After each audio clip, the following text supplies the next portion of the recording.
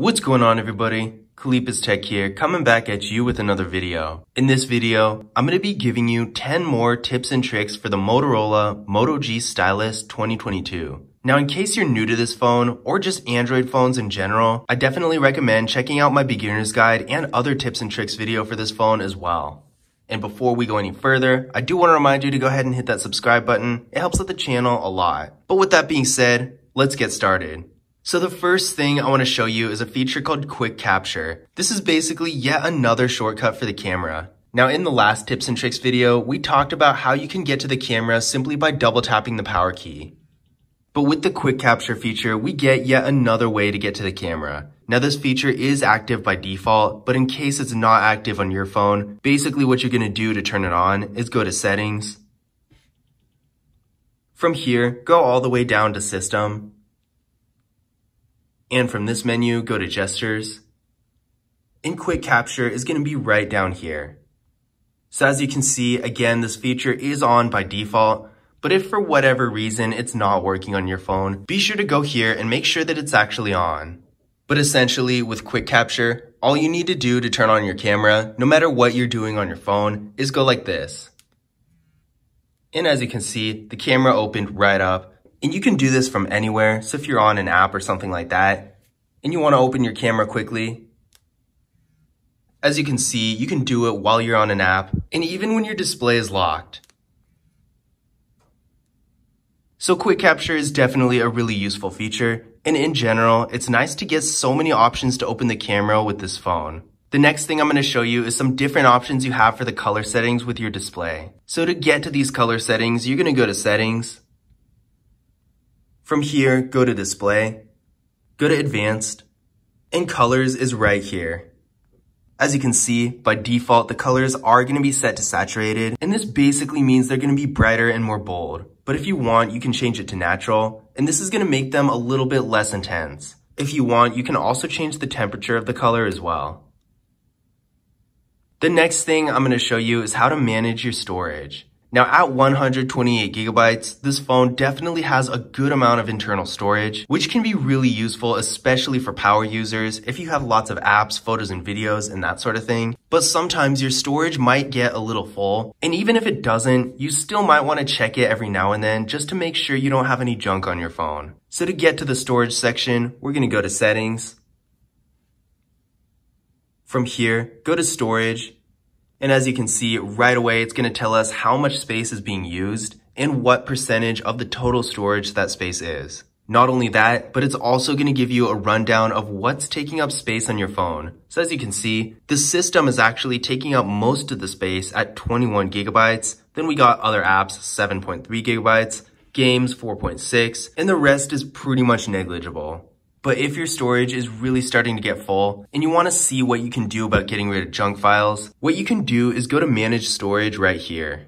This is going to take you to the file manager and it's going to help you do things like get rid of duplicates, clean out junk files and stuff like that to free up more space on your phone. Now believe it or not, apps on phones do actually make some temporary files just like programs on computers. So over time, if you're using larger apps, especially if you're doing something like video editing or maybe gaming, temporary files are going to start to accumulate on your phone and they can end up filling up a lot of space. In addition to this, messages also fill up space on your phone, especially if you're sending photos and videos and stuff like that. So I definitely recommend keeping all this in mind and checking your files regularly just to make sure your phone's not filling up with junk. The next thing I'm going to show you is a feature called Power Touch. Now in the last tips and tricks video, we already went over what you can do by double pressing your power key, but now we're going to talk about what we can do when you double tap it instead. Now by that, I mean literally instead of pressing your power key, just tapping it like this.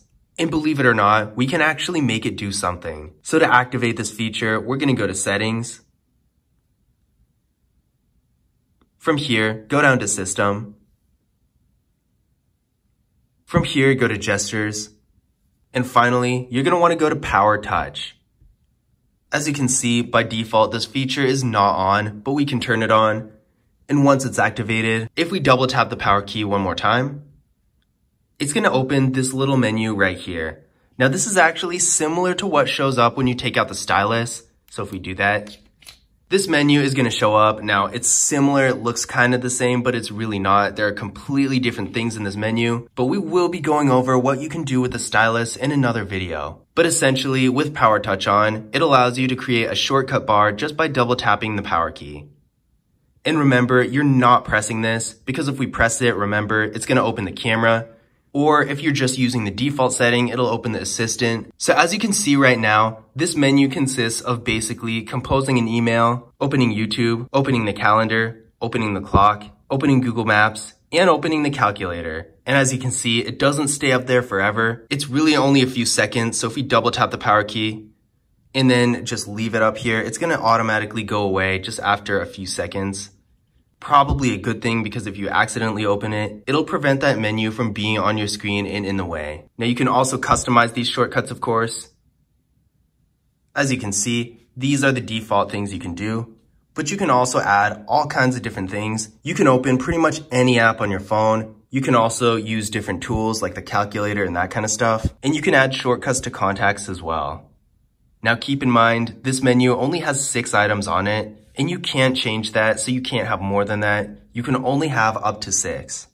Now the next thing I'm going to show you is a quick way to activate your assistant. Now honestly, my favorite way to do this is just to use voice commands, but if you don't want to do that, which I understand, sometimes they're not the most reliable, there is another way. Now by default, you can actually activate the assistant by double pressing the power key, but like we talked about a little earlier, we did change that on this phone to the camera instead, which I personally think is a lot more useful. So without the voice commands, you might be wondering, how else can we activate the assistant? It's actually really simple all you need to do is swipe your finger up diagonally from this little corner right here, and it's gonna open up the assistant.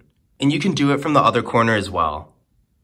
So that really just goes to show that with this phone, there's not only a shortcut for almost anything, but certain functions actually have multiple shortcuts to choose from. Now the next thing I'm going to show you is how to activate split screen mode. Now I myself, I'm really not a big fan of this feature, so I don't really talk about it a lot, but I know a lot of people really like to use it, and in some situations, I can see how it can be useful. So let's take a look at how we can activate it on this phone. So by default, split screen is disabled. So what you're gonna wanna do is go to settings. From here, go to system. From here, go to gestures. And from this menu, go to swipe to split. Toggle this feature on. So now with this feature active, all you need to do to activate split screen is go like this.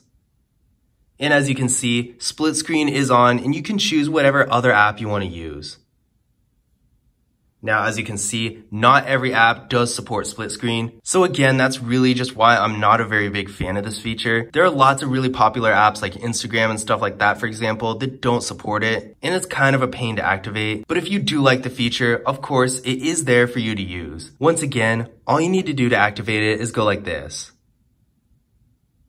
The next thing I'm going to show you is a feature called Prevent Ringing. This is basically a quick way to get your phone into either vibrate or mute. Now to use this feature, all you need to do is press the power key and the volume up key at the same time like this. And as you can see, it's going to go into vibrate mode, but you might be wondering, what if you want to use mute instead of vibrate? Well, all you need to do is go to settings. From here, go to system. From here, go to gestures. And prevent ringing is right here. As you can see, by default, it is on vibrate, but we can also change it to mute. So now if you hit the buttons one more time, as you can see, the phone is gonna be in mute instead. And if you want, you can also turn the feature off so it doesn't do anything at all. The next thing I'm going to show you is how you can customize your quick menu. Now you've probably noticed me using this menu throughout the video when I go to settings, but just in case you missed it, to get to your quick menu, you swipe down twice like this. And this is basically it. As you can see, there's a settings icon right here. Just in case you don't feel like using the settings app, it does basically the same thing. But essentially, the quick menu is gonna have not only your controls for the brightness, but also some really useful shortcuts as well. So to customize this, all you need to do is hit this icon right here. And as you can see, all this is gonna show up. This is basically what's on your quick menu, and this is what you can add to it. The next thing I'm gonna show you is how to create a screen recording. This is really easy, not quite as easy as a screenshot, but it's still just as simple. So all you need to do is open your quick menu one more time. and find the screen recording icon. By default, it's going to be somewhere on here. So for me, it's in the second page, but just keep in mind, it might be different for your phone. But now you're going to want to hit start. There's going to be a little countdown. And now we're recording the screen. If you hit this menu right here, there are also some options you can customize. You can record sound, you can record yourself, and you can draw on the screen as well. Once you want to stop, go ahead and hit stop, and it's going to be saved to your photos.